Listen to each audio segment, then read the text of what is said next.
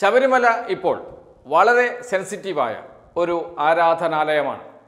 നേരത്തെ അത് അങ്ങനെയായിരുന്നില്ല ശബരിമലയുമായി ബന്ധപ്പെട്ട് സുപ്രീം കോടതി വിധി വന്നതിന് ശേഷമാണ്. ദേശീയാടിസ്ഥാനത്തിൽ തന്നെ ശബരിമല ഇത്രയും ശ്രദ്ധാ കേന്ദ്രമായി മാറിയത്. എല്ലാ സ്ത്രീകൾക്കും ശബരിമലയിൽ കയറാനുള്ള അവസരം നൽകിയത് സുപ്രീം കോടതിയാണ്. ഏതെങ്കിലും സ്ത്രീകളെ മാറ്റി നിർത്തുന്നത് വിവേചനപരമാണ് എന്ന് പറഞ്ഞത് സുപ്രീം കോടതിയാണ്. സുപ്രീം കോടതി വിധിയെ എല്ലാ രാഷ്ട്രീയ പാർട്ടികളും സ്വാഗതം ചെയ്തിരുന്നു. അതിൽ ആർ എസ് എസ് എന്നോ സി പി എം എന്നോ കോൺഗ്രസ് എന്നോ സംഘപരിവാർ സംഘടനകളെന്നോ വ്യത്യാസമേ ഇല്ല. എല്ലാവരും സ്വാഗതം ചെയ്തിരുന്നു. ചരിത്രവിധി എന്നാണ് ജന്മഭൂമി. ബി ജെ പിയുടെ മുഖപത്രമായ ജന്മഭൂമിയിൽ വിധി വന്നതിന് ശേഷം വന്ന തലക്കെട്ട് വെണ്ടക്ക നിരത്തിയത്. അതിനു മുമ്പ് തന്നെ ഒ രാജഗോപാലും ആർ എസ് എസിന്റെ മുതിർന്ന നേതാക്കളൊക്കെ ശബരിമലയിൽ എല്ലാ വിഭാഗം സ്ത്രീകൾക്കും പ്രവേശനം നൽകണമെന്ന് പരസ്യമായി ആവശ്യപ്പെട്ടവരാണ്. കേസരിയിലൊക്കെ അതുമായി ബന്ധപ്പെട്ട് നിരവധി ലേഖനങ്ങൾ വരികയും ചെയ്തിരുന്നു. എന്തിനേറെ പറയുന്നു? സുപ്രീം കോടതിയിൽ കേസ് കൊടുത്തവർ സംഘപരിവാറുമായി ബന്ധപ്പെട്ട സംഘടനകളുടെ നേതാക്കളാണ് എന്ന വിവരം പിന്നീട് പുറത്തു വരികയും ചെയ്തിരുന്നു. എന്നാൽ വിധി വന്നതിന് ശേഷം എൻ എസ് എസ് ആണ് ആദ്യമായി പ്രതിഷേധവുമായി രംഗത്തിറങ്ങിയത്. പിന്നീട് പന്തളം കൊട്ടാരം പ്രതിഷേധവുമായി രംഗത്തിറങ്ങി. എൻ എൻ എസ് എസ് ആയിരക്കണക്കിന് സ്ത്രീകളെ അണിനിരത്തിക്കൊണ്ട് പന്തളത്ത് വലിയൊരു മാർച്ച് തന്നെ സംഘടിപ്പിച്ചു. അതോടുകൂടിയാണ് ഒരു വിഭാഗം രാഷ്ട്രീയ പാർട്ടികളിൽ മാനം മാറ്റമുണ്ടായത് എന്ന് വെച്ചാൽ ആർ എസ് എസ് അവർ നിലപാട് മാറ്റി കോൺഗ്രസ് നിലപാട് മാറ്റി എല്ലാ യു ഡി എഫ് കക്ഷികളും നിലപാട് മാറ്റി സമരത്തെ പിന്തുണക്കുന്ന അവസ്ഥ വന്നു. ആർ എസ് എസും ബി ജെ പിയും ഒന്നിച്ചു നിന്ന് ശബരിമലയിൽ സ്ത്രീകൾ കയറാൻ പാടില്ല എന്ന് പറഞ്ഞ് സമരത്തിറങ്ങിയതും നാം കണ്ടിരുന്നു. എന്നാൽ എൽ ഡി എഫ് അവരുടെ നിലപാട് ഉറച്ചു നിന്നു. സ്ത്രീകൾ കയറുന്നതിൽ എതിർപ്പില്ല എന്ന സുപ്രീം കോടതി വിധിയോടൊപ്പം നിൽക്കുകയും ചെയ്തു. അത് വലിയ തോതിലുള്ള രാഷ്ട്രീയ ചർച്ചയായി രാഷ്ട്രീയ സംഘടനമായി ഒക്കെ മാറിയത് നാം കണ്ടതാണ്. അതേ ഒരു സാഹചര്യമാണ് വീണ്ടും വരാൻ പോകുന്നത് എന്ന് തോന്നുന്നു. അത്തരമൊരു വിധി ഹൈക്കോടതിയിൽ നിന്ന് വരുമോ എന്നാണ് അറിയാനുള്ളത്. ആ വിധി എന്നത് ഇപ്പോൾ ശബരിമലയിൽ മേൽശാന്തിയായി നിയമിക്കപ്പെടാനുള്ള യോഗ്യത മലയാളി ബ്രാഹ്മണൻ ആയിരിക്കണം എന്നതാണ്. മലയാളി ബ്രാഹ്മണർക്ക് മാത്രമേ ശബരിമല മേൽശാന്തിയായി അപേക്ഷ നൽകാനും അവരെ മാത്രമേ തിരഞ്ഞെടുക്കാൻ പാടുള്ളൂ എന്നാണ് ദേവസ്വം ബോർഡിന്റെ നിയമം. അവർ അങ്ങനെയാണ് വ്യവസ്ഥ കൊണ്ടുവന്നിരിക്കുന്നത്. ഈ വ്യവസ്ഥയാണ് ചോദ്യം ചെയ്തുകൊണ്ട് ഹൈക്കോടതിയിൽ കേസ് നിൽക്കുന്നത്. ആ കേസിന്റെ അടിസ്ഥാനം എന്നത് രണ്ടായിരത്തി രണ്ടിലെ സുപ്രീം കോടതി വിധിയാണ്.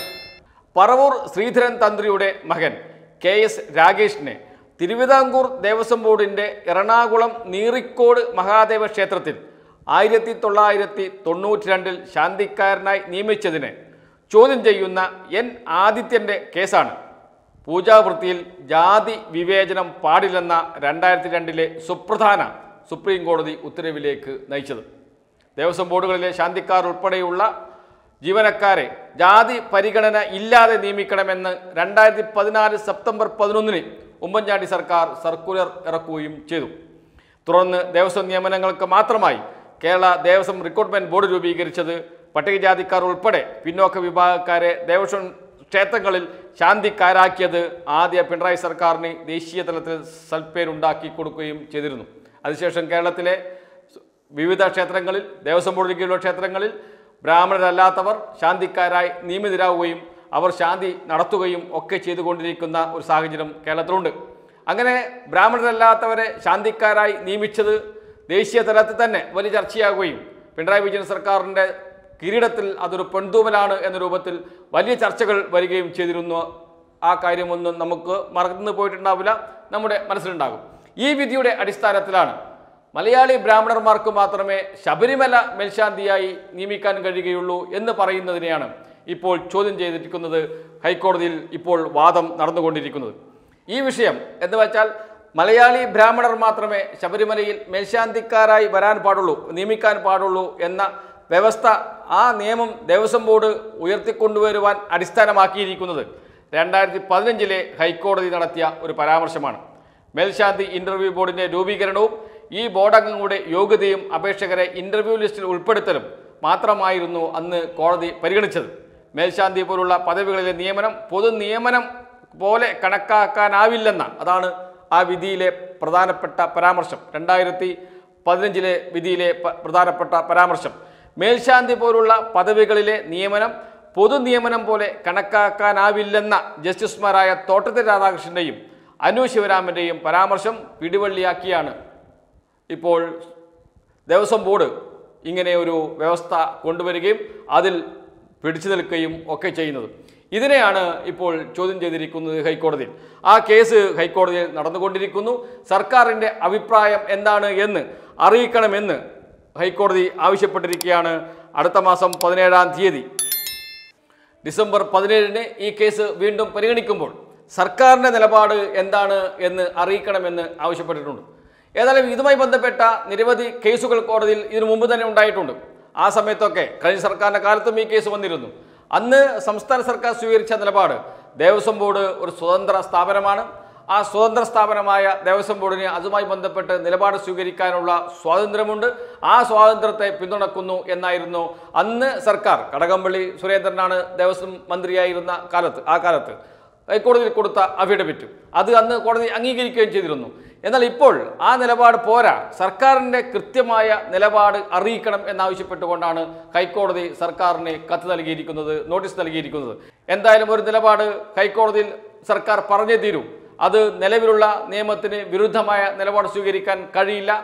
എങ്കിൽ എന്നിരുന്നാലും നിയമപ്രശ്നം ചൂണ്ടിക്കാട്ടി തോട്ടത്തിൽ രാധാകൃഷ്ണന്റെ വിധിയുടെ പകർപ്പും അതിന് അന്തസത്തയും ഉൾക്കൊണ്ടുകൊണ്ട് മുന്നോട്ട് പോകണം എന്നൊക്കെയുള്ള നിലപാട് ചിലപ്പോൾ സ്വീകരിക്കാൻ സാധ്യതയുണ്ട് സർക്കാർ ഹൈക്കോടതിയിൽ. അങ്ങനെ വന്നാൽ അത് ഒരു പിന്തിരിപ്പൻ നിലപാടായി മാറും. ശബരിമല സ്ത്രീ പ്രവേശനത്തിൽ കൃത്യമായി നിലപാടെടുത്ത എൽ ഡി എഫും സി പി എമ്മും എല്ലാ വിഭാഗം സ്ത്രീകൾക്കും അവിടെ ആരാധനയ്ക്ക് സ്വാതന്ത്ര്യമുണ്ട് എന്ന നിലപാടെടുത്ത സി പി എമ്മും എൽ ഡി എഫും. അതിനുവേണ്ടി അവസാന നിമിഷം വരെ പൊരുതിയ എൽ ഡി എഫും സി പി എമ്മും അത്തരമൊരു നിലപാടിൽ നിന്ന് മാറി നിന്നുകൊണ്ട് ഇപ്പോഴത്തെ ദേവസ്വം ബോർഡിന്റെ നിലപാടിലേക്ക് വരാൻ കഴിയുമോ എന്നത് പ്രധാനപ്പെട്ട കാര്യം തന്നെയാണ്. അതുമാത്രമല്ല പിണറായി സർക്കാർ എല്ലാ ക്ഷേത്രങ്ങളിലും ബ്രാഹ്മണരല്ലാത്ത ശാന്തിക്കാരെ നിയമിച്ചുകൊണ്ട് വിപ്ലവകരമായ തീരുമാനമെടുത്ത സർക്കാരാണ്. ഒന്നാം പിണറായി സർക്കാർ. അതുകൊണ്ട് തന്നെ രണ്ടാം പിണറായി സർക്കാരിന് ശബരിമല വിഷയത്തിൽ മാത്രം മറിച്ചൊരു തീരുമാനത്തിലേക്ക് വരാൻ കഴിയുമോ എന്ന ചോദ്യവും അവശേഷിക്കുന്നുണ്ട്. ഇവിടെ സർക്കാരിന്റെ നിലപാട് ചോദിച്ചിട്ടുണ്ട് സർക്കാർ നിലപാട് പറയേണ്ടതുണ്ട്. അതേസമയം ഈ വിഷയത്തിൽ കേരളത്തിലെ രാഷ്ട്രീയ പാർട്ടികളുടെ നിലപാട് എന്താണ് എന്നത് വലിയ ചോദ്യചിഹ്നമായി അവശേഷിക്കുന്നുമുണ്ട്. ബി ജെ പി എന്ത് പറയുന്നു? ആർ എസ് എസ് എന്ത് പറയുന്നു? ബി എച്ച് പി എന്ത് പറയുന്നു. സംഘപരിവാർ സംഘടനകളുടെ നിലപാട് എന്താണ് എന്നത് സംബന്ധിച്ചൊക്കെ ഇനി അറിയേണ്ടതുണ്ട്. അതോടൊപ്പം എൻ എസ് എസിന്റെ നിലപാട് എന്താണ്? എസ് എൻ ഡി പി യോഗത്തിന്റെ നിലപാട് എന്താണ്? അങ്ങനെയുള്ള പല സമുദായ സംഘടനകളുടെയും നിലപാട് എന്താണ്? പന്തളം കൊട്ടാരത്തിന്റെ നിലപാട് എന്താണ് എന്നൊക്കെ അറിയേണ്ടതുണ്ട്. അതൊന്നും അവർ ഇപ്പോൾ പറയാൻ സാധ്യതയില്ല. സർക്കാർ നിലപാട് വരട്ടെ. അതിനുശേഷം പ്രതികരിക്കാം എന്നായിരിക്കും പ്രതിപക്ഷം യു ഡി എഫ് പറയുന്നത്. അതുതന്നെയായിരിക്കും പന്തളം കൊട്ടാരം പറയുന്നത്. അതുതന്നെയായിരിക്കും ചിലപ്പോൾ എൻ എസ് എസും പറയുന്നത്. ഏതായാലും സർക്കാരിനെ പ്രതിക്കൂട്ടിലാക്കാൻ കിട്ടുന്ന അവസരമായതുകൊണ്ട് അത് എങ്ങനെ ഉപയോഗിക്കാമെന്ന് യു ഡി എഫും ബി ജെ പിയും കണക്ക് കൂട്ടി ഇരിക്കുന്നുണ്ടാകും. സർക്കാർ എന്ത് നിലപാട് പറയുന്നു എന്നത് അവിടെ നിൽക്കട്ടെ. ഇത് സംബന്ധിച്ച് ഒരു പൊതു നിലപാട് രാഷ്ട്രീയ പാർട്ടികൾ പറയേണ്ടതുണ്ട്. പറഞ്ഞു മാത്രമേ മുന്നോട്ട് പോകാൻ കഴിയുകയുള്ളൂ എന്നത് ഒരു വസ്തുതയാണ്. അതുകൊണ്ട് വീണ്ടും ശബരിമല ശ്രദ്ധാകേന്ദ്രമാവുകയാണ് സെൻസിറ്റീവായി മാറുകയാണ്. നേരത്തെ ശബരിമലയുമായി ബന്ധപ്പെട്ടുണ്ടായ സംഘർഷങ്ങളൊക്കെ നമ്മുടെ മുന്നിലുണ്ട്. അതിലേക്ക് വീണ്ടും ശബരിമല മാറുമോ?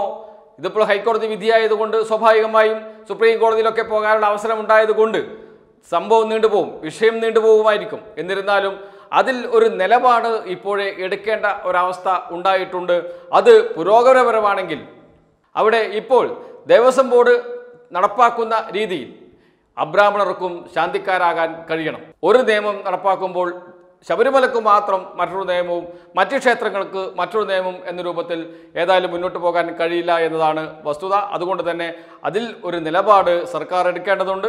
ദേവസ്വം ബോർഡ് അവരുടെ മുൻ നിലപാടിൽ ഉറച്ചു നിൽക്കും. തോട്ടത്തിൽ രാധാകൃഷ്ണന്റെയും അനു ശിവരാമന്റെയും വിധിയെ ഉയർത്തിപ്പിടിച്ചുകൊണ്ടായിരിക്കും അവർ അവരുടെ നിലപാട് പറയുക. സർക്കാർ സർക്കാർ നിലപാട് പറയും. നേരത്തെ പറഞ്ഞ നിലപാട് തന്നെ ആവർത്തിക്കുമോ? ദേവസ്വം ബോർഡ് ഒരു സ്വതന്ത്ര സംഘടനയാണ്. അവർ ഏതാണ് നിലപാടെടുക്കുന്നത്? അതിനെ പിന്തുണക്കും എന്ന നിലപാടിലേക്ക് സർക്കാർ വരുമോ? അതല്ല. അബ്രാഹ്മണർക്കും ശാന്തിക്കാരനാകാം എന്ന നിലപാടിലേക്ക് സർക്കാർ വരുമോ എന്നത് പ്രധാനപ്പെട്ട ഒരു പ്രശ്നമായി നിൽക്കുന്നുണ്ട്. അതോടൊപ്പം കോൺഗ്രസ് ഇത് സംബന്ധിച്ച് നിലപാട് പറയണം. എല്ലാ സംഘടനകളും ശബരിമലയുമായി ബന്ധപ്പെട്ട് നിൽക്കുന്ന എല്ലാ സംഘടനകളും ഇതുമായി ബന്ധപ്പെട്ട് ഒരു നിലപാട് പറയേണ്ടതുണ്ട്. അതൊക്കെ പരിഗണിച്ചുകൊണ്ടായിരിക്കണം സുപ്രീം കോടതിയുടെ വിധി ഏതായാലും ശബരിമലയാണ് സെൻസിറ്റീവാണ്.